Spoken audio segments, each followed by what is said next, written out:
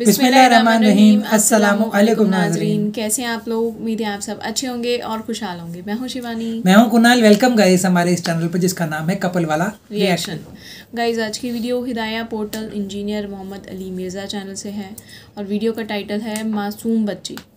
आज तेरा दिन है तू बोल, बोल। हम्म। By engineer Mohammad Ali Mirza. तो काफ़ी ही ज़्यादा मैं ख्याल से इमोशनल लग लग रही है वीडियो ये।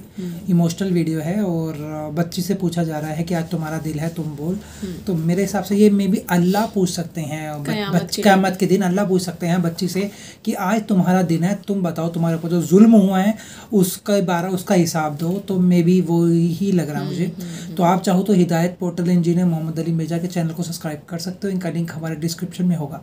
तो स्टार्ट करते हैं। व इदल मऊदतुसुइलत और जबकि उस ज़िंदा बच्ची से पूछा जाएगा जिसे ज़िंदा दफना दिया था उसके माँ बाप ने। आपको पता है अरब के लोग बच्ची की पैदाइश से वो नफरत करते थे और आज तक यानी हमारे सब कॉन्टिनेंट के माशरे में वो फरसूदा नज़रियात चल रहे हैं। हती कि मुसलमानों के यहाँ भी चलते हैं। हिंदुओं के यहाँ तो बहुत ज़्यादा है। आठ से पंद्रह साल पहले की ऑलमोस्ट रिपोर्ट है बीबीसी की, कि इंडिया के अंदर रोज़ाना तीन हज़ार बच्चियाँ प्रेगनेंसी के दौरान मार दी जाती थी। तीन हज़ार रोज़ाना। ज़ाहिर है एक अरब से ज़्यादा जब आबादी होगी, अब तो डेढ़ अरब के करीब पहुँच चुकी तो उसमें तीन हज़ार तो कुछ भी नहीं। इसी वजह से आज इंडिया में मर्दों की तादाद औरतों से ज़्यादा हो गई है। तीन हज़ार बच्ची आज भी वही चीज़ें चल रही और हमारे भी सब कॉन्टिनेंट के माशरे में, आप पंजाब के माशरे में तो बिलखसूस देख लें कि बच्ची की पैदाइश को एक नटोरियस चीज़ समझा जाता है। माँ के हक में भी और औलाद के, यानी एतबार से बाप के हक में भी। और वो सासें जो खुद फीमेल जेंडर से ताल्लुक़ रखती हैं, वो अपने पोती के पैदा होने के ऊपर नाखुश हो रही होती। हैं हालाँकि उन्होंने नहीं सोचा कि क्या वो खुद मर्द थी। वो अगर फीमेल पैदा हुई है तो ठीक है, लेकिन उनके बेटे के हाँ अगर कोई बच्ची पैदा हो गई है तो गलत है। कितनी ये बुरी ट्रेडिशन ये लादा बात है कि बाद में जब वो बच्चे बड़े होते हैं तो बच्चों की वजह से औलाद का जो बच्चों वाला जेंडर है, उसकी पोर्शन की वजह से माँ बाप जो है जलील हो रहे होते हैं, और बच्चियों की वजह से वो सुखी होते हैं। ये लादा बात है। ज़्यादातर हमने यही देखा तो अल्लाह तरमद क्यामल दिन उस बच्ची को ज़िंदा करके अल्लाह ताला उससे पूछेगा उतिलत उतिलत तुझे किस गुनाह के सबब कत्ल किया गया था? कितनी लतीफ गुफ्तगु है कि कत्ल करने वाले से नहीं पूछा जा रहा, बल्कि बच्ची से पूछा जाएगा कि, मासूम बच्ची, आज तेरा दिन है, तू बोल कि किस जुर्म के बदाश में तुझे कत्ल किया था तेरे माँ बाप ने? तो मासूम बच्ची को अल्लाह ताला बेसिकली उसे हौसला कर, हौसला अफजाई फरमा रहा होगा कि आज दिन है तुझे बदला दिलाया जाएगा कितने सहाबा थे, जिन्होंने, यानी ईमान लाने से पहले कुफर की हालत में इस तरह के जराइम किए थे। और अल्लाह तबारक व ताली ने इस्लाम लाने के सबब उनके गुनाहों को माफ़ किया। कई एक वाक़ात हैं जो आप सुनते रहते हैं। बहरल ये बहुत बड़ा जुर्म है। आज भी ये बात मॉडर्न दौर में जो इससे रिलेटेड चीज़ है, जिसको डिस्कस करने की ज़रूरत है। नेट के ऊपर आपको शेर व शायरी की फॉर्म में भी ऐसी नज़में मिलेंगी सैदना दाहिया कलबी रदी अल्लाह तु के बारे में, कि उनकी एक छोटी सी बच्ची थी जो उन्होंने दफना दी थी। और जब वो इस्लाम कबूल करने के लिए आए तो उन्होंने पूरा बड़ा रिकत अंगेज़ वाक़ है वो इंसान बयान भी नहीं कर सकता। तो वो बयान करके कहा, यार सुल्ला मुझे क्या ये मेरा गुना भी माफ़ हो जाएगा? तो अल्लाह ने फरमाया, अल्लाह के नबी इस्लाम ने फरमाया कि इस्लाम पिछले सारे गुनाहों को माफ़ कर देता बहरल आज के दौर के अतबार से इसमें इबरत यह है कि अल्लाह का शुक्र है, इस्लाम की बरकत से लोग कम अज़ कम बच्चियों को दफनाते तो नहीं हैं। लेकिन प्रेगनेंसी के दौरान ज़ाया कराना भी किसी न किसी दर्जे में उसी जुर्म के अंदर फाल करता है। प्रेगनेंसी आइडेंटिफाई होगी, इवन आइडेंटिफाई ना भी हुई हो कि ये मेल है या फीमेल, उससे पहले भी आप ये काम कर नहीं सकते।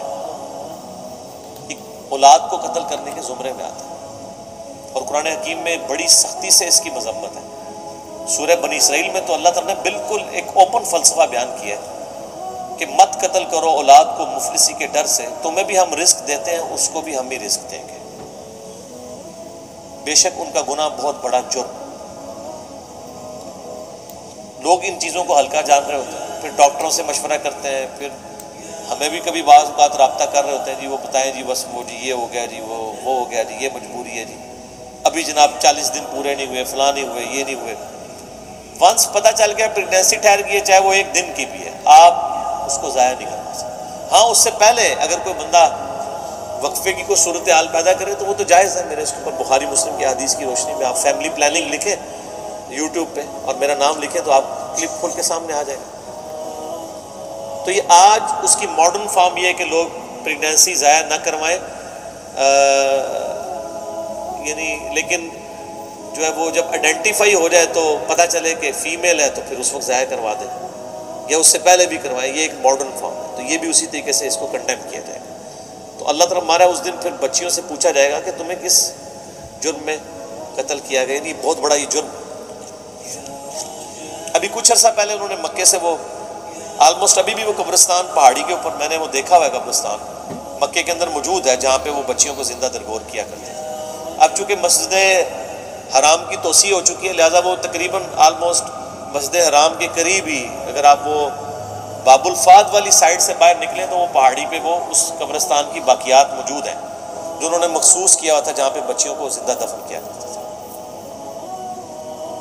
आप देखें, आज यानी इस्लाम के ऊपर एतराज़ किया जाता है कि इस्लाम बेसिक ह्यूमन राइट्स को और औरतों के हकूक़ को जो है वो दबाता है। हालाँकि ये कितना बड़ा सबूत है कि ह्यूमैनिटी को इस बड़ी लानत से निजात ही इस्लाम ने दिलाई है। आज भी आप देख लें, जो इस्लाम ने औरतों को इज़्ज़त दी है, किसी और माशरे ने नहीं दी। इसलिए आप देखें, जब गैर मुस्लिम औरतें मुसलमान होती हैं, आप उनके इंटरव्यू सुने तो वो, आपको पता है, इस वक्त जो गैर मुस्लिम मुसलमान हो रहे हैं ना, उनमें 67 परसेंट औरतें हैं और 33 परसेंट जो है वो मर्द हैं। औरतें कहती हैं, हम सिक्योर फील कर रही हैं। हमें तो इस्लाम में आके पता चला है कि औरत की इज़्ज़त इस्लाम में वहाँ गोरे तो मतलब जो गोरों के मुल्क में तो गोरियाँ तो तरस जाती हैं कि उनको कोई मुखलिस खामन मिले। और यहाँ पे मिल जाता है। इस्लाम की वजह से। खामद क्या गुलाम मिल जाता है? कितनी इज़्ज़त है। और औरतें जिस तरह बूढ़ी होती हैं, उनकी इज़्ज़त में इजाफा होता है। औरतें स्ट्रांग होती जाती हैं और मर्द कमज़ोर होता जाता है। और जब माँ बन जाती है तो आप देख लें, हमारे सब कॉन्टिनेंट के माशरे में कितनी इज़्ज़त है। चंद एक मिसालें आप एक नटोरियस देंगे ओवरऑल तो एक वर्थ है ना? इसीलिए, यानी जो गैर मुस्लिम औरतें मुसलमान होती हैं, वो इसी चीज़ों को अप्रिशिएट करती हैं। आप मुसलमान औरत को पूरी ज़िंदगी इस पर कायल करते हैं कि वो नकाब करे। और गैर मुस्लिम औरत मुसलमान होते ही हिजाब शुरू कर देती है। और आप उनके इंटरव्यू सुने, वो आपको खुद बीबीसी इंटरव्यू कर चुकी है उनसे। सी एन एन पे आए हुए हैं, वो कहता है, उन्होंने डिफेंड किया पूरा पूरा नकाब करके औरतें बैठी हैं। और कोई जायल औरतें नहीं पढ़ी लिखी औरतें। बल्कि आप यूट्यूब पे एक डिबेट है गालबन एक फ्रांस में एक मैकेनिकल इंजीनियर थी वो औरत जो मुसलमान हुई, उसने पूरा काला नकाब और पूरा बुरका किया और दूसरी तरफ़ उन्होंने एक मुसलमान मुल्क की एक बाल खोल के मुसलमान औरत बिठाई हुई थी और डिबेट ये हो रही थी कि बुरका ज़रूरी है कि नहीं। वो गैर मुस्लिम मुसलमान होने वाली बुरके को डिफेंड कर रही थी और जो पैदाइशी मुसलमान है, कुछ भी है तेरे महबूब की उम्र से। है वो कह रही थी, ये ज़रूरी नहीं है। तो फिर उस औरत ने जो न्यू मुस्लिम थी, उसने जो दलाइल दिए यूट्यूब के ऊपर ये डिबेट पड़ी हुई, आप देख तो उसने कहा, मैंने तो इस्लाम में आके इस्लाम की खूबसूरती देखी है कि औरत की इज़्ज़त है। वरना हम जब इस तरह फिरती थी तो हमें हर कोई कमोडिटी के तौर पे देखता था। आज हमने निकाब किया होता है तो कम अज़ कम हमें हमें एक कमोडिटी के तौर पे तो पेश नहीं किया जाता। इस्लाम के अंदर इज़्ज़त है एक औरत की। तो क्यामत वाले दिन अल्लाह ताला फिर उस बच्ची से पूछेगा जिसे दफना दिया गया था ज़िंदा, या कत्ल कर दिया गया था। हाँ जी। पहले तो ना ये जो वीडियो के जो ज़िक्र करते हैं ना अगर इसका लिंक होगा ना तो प्लीज़ ज़रूर बताना हम्म। कि फ्रांस की में जो एक मैकेनिकल इंजीनियर थी उसका किसी मुस्लिम लेडी से वो डिबेट हुआ था हम्म। अगर उसका अगर आपको थोड़ा आइडिया हो या लिंक कुछ हो ना तो प्लीज़ आप किसके कमेंट में बता देना या आप हमें मेल कर देना हम्म। किसी भी हो तो और और एक उस वीडियो का भी बताइएगा जो उन्होंने बताया कि पहाड़ी के ऊपर वो जगह थी जगह अभी वो बनाई हुई है उन बच्चियों की मस्जिद अल हराम के पास में एक हाँ। वो जगह है जहाँ पर पहले लड़कियों को ज़िंदा दफना, दफना देते थे हाँ। मतलब क्या ही होता होगा रूह काप जाती होगी बंदे की ये सोच की कितना बड़ा जुल्म है ये हम्म। और कि, कितने साहबा ऐसे हैं जिन्होंने ये काम किया था उसके बाद इस्लाम को भूल किया बट देखो अल्लाह का करम की उनको माफ़ कर दिया गया बिल्कुल हालाँकि हमने एक और वीडियो करी थी कि थ्री सिक्सटी सेवन मुस्लिमों को मारने के बाद मैंने इस्लाम को भूल किया। हम्म। उसने भी काफ़ी लोगों ने बताया था कि अगर उन्होंने चलो पहले कुछ भी किया उन्होंने पहले बट एक बार उन्होंने इसे इस्लाम अगर कबूल कर लिया तो अल्लाह माफ़ कर, कर, कर देते हैं। तो ये चीज़ बताई। हालाँकि जुल्म वो जुल्म वो छोटा नहीं था बहुत ही हम्म। ज़्यादा बड़ा था। ये भी चलो। कम नहीं है ये वाला जुल्म भी मतलब ये टॉपिक थोड़ा अलग है। तो हम्म। ये क़यामत के दिन में अल्लाह पूछेंगे उस छोटी बच्ची से जो जो कि जिसको मार दिया गया होगा कि तुम्हारा क्या कसूर था तुम्हें क्यों मार दिया गया? तो तब वो बच्ची बोलेगी मुझे क्यों मारा? हम्म। तो तब वो वैसे नहीं बच्ची छोटी होगी तो उसके मुँह में ज़ुबान भी होगी सब कुछ होगा और अल्लाह क्या कहे वो बोलेगी हम्म। कि क्या बात थी क्यों मारा या किस रीज़न की वजह से मारा? माँ ने मारा बाप ने मारा दोनों ने मिलके मारा या क्या हुआ कैसे वो सब कुछ बताएगी। तो उस टाइम से डरना चाहिए हम सब लोगों को ना ऐसा कर्म करने से पहले। इवन हम्म, ये अब तक हो रहा है। मतलब तब तो चलो कैसे ना कैसे स्टॉप कर दिया। हाँ.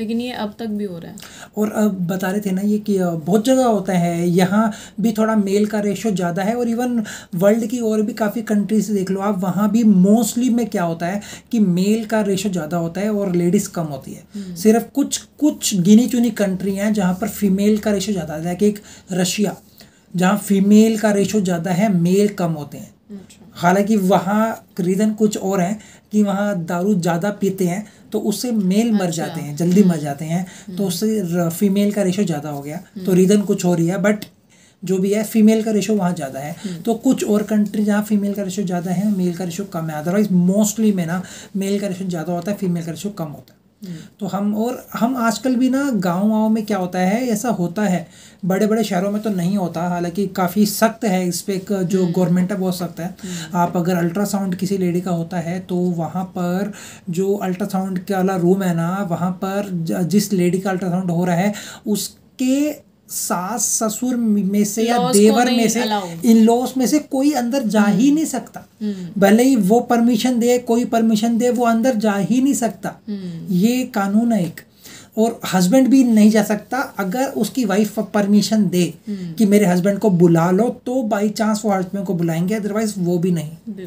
काफ़ी जगह पे क्या होता है कि हस्बैंड को भी अलाउ नहीं करते सिर्फ़ लेडीज़ हम्म। लेडीज़ का करते हैं हम्म। और लड़कियाँ पूछ भी नहीं सकती है खुद जो लड़की करवाती है वो भी पूछ नहीं सकती कि भाई क्या है क्या लिंग है मेल है फीमेल है कुछ भी नहीं आप इसके बारे में पूछ सकते। हैं बड़ा बड़ा लिखा होता है ये एक जुर्म है हम्म। अगर आप पूछ भी नहीं सकते अदरवाइज़ हम्म। पुलिस आके आपको पकड़ के ले जाएगी। हम्म। हालाँकि ये तो चलो अच्छी बात है अप्रिशिएट करने वाली है कि आप पूछ नहीं सकते बच्चे का लिंग क्या है क्या नहीं है सब अल्लाह की देन है।